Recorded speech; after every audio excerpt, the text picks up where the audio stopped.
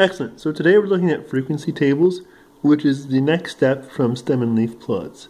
The important things to remember when looking at frequency tables are intervals are always equal. Uh, you usually have four or more intervals, and my example will show you why. And always practice makes perfect. It is a skill to look at numbers and be able to organize them, and it will take a couple of times of just practicing. So here's an example for you. Let's say these are uh, magazine dollars raised for a fundraiser, uh, ranging from about uh, 84 to I think the high 83 to 118. Here is what not to do. So this is an X for an interval table. Now I'll explain why. One, I've made my intervals way too big, and as a result, the information is skewed. It looks like there's as many below 100, well, roughly, 7 and 9 are pretty close. So I can't really get any information from this. And it also gives a false impression that some student maybe sold only 5 magazines, or maybe some student sold 180, which is not the case. What this needs is a more accurate interval table. And here's what I mean by accurate. So I've taken this, and I've made it more accurate. First off, I've changed the intervals. Instead of 100, I've made them by 10. So I did 80 to 89, 90 to 99, and so on. And then what I did was I counted the numbers that fit in to each section. So I have 3 between 80 and 89. I have 4 for 90 to 99. I have 8 between 100, and if I count 110 to 119, I only see 1, 118. So I'm going to put a 1 there, and put the 1 in brackets, just so I know.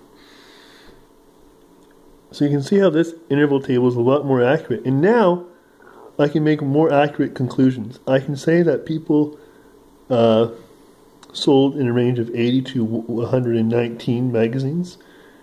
Each student sold around that amount. And that most students sold between 100 and 109. So I was able to make a more precise representation of the data than here, mainly because I used four or more intervals instead of just two. And it's okay to start at 80, you don't always have to start at 0. Let's move on to another example.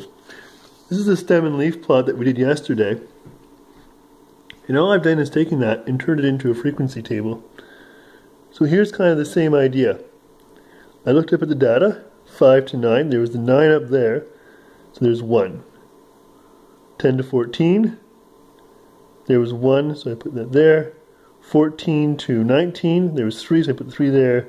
20 to 24, 2, so I put the 2 there. Uh, for this interval, I used 5, and sure enough, there it is, 4 intervals.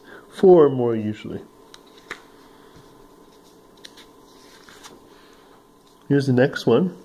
This one we were dealing with the decimal.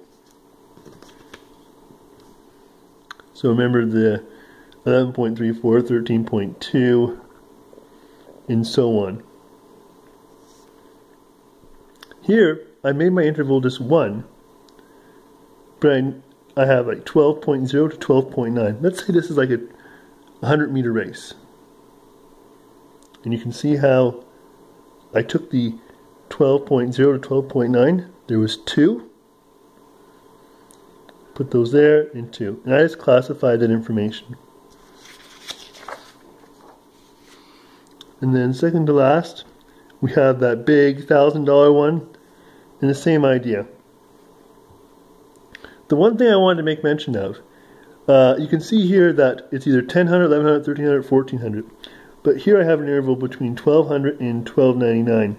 You always have to have the same interval between. So even though there was no student who sold or who raised between 1200 and 1299, I still put it there. It's zero. Is this what you do for intervals? It helps keep the information more accurate and it doesn't leave any loose ends. And then lastly, I threw in this one as well. Uh, this is like a real life example. So let's say I, I charted rainfall in Kingston for the last 14 days, looking at millimeters of rainfall. So I made my intervals 0 to 4 millimeters, 5 to 9, 10 to 14, 15 to 19, and 20 plus. I filled it in and just so you know, for future reference, if you look here, all the data is between 0 and about 20. But then in this data here, 45 appears, and that's what known as, that's what's known as a an outlier.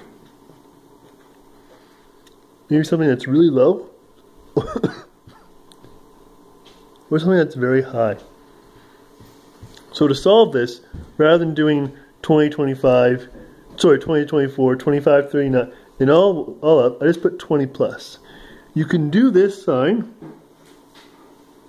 only at the end of an interval. The bottom one can have that.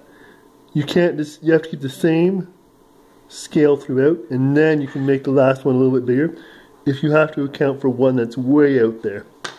There you go. If you understand all this, then you're set. Uh, hopefully everyone has a great weekend, and see you on Tuesday.